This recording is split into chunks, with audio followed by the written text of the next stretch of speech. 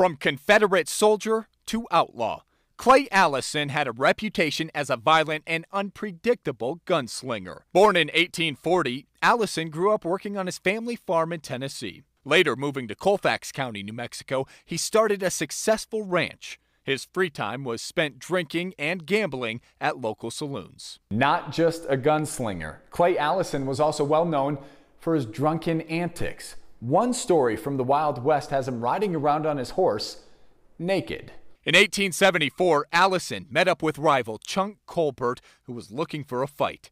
Colbert invited him to dinner and tried to pull a gun on Allison at the table. Allison struck first, shooting Colbert in the head. When asked why Allison agreed to dinner, he said, quote, I didn't want to send a man to hell on an empty stomach. Allison's death was not from a bullet or a noose, but from his own horses. In 1887, he fell from his wagon while carrying supplies from his Pecos ranch and was trampled by a wagon wheel.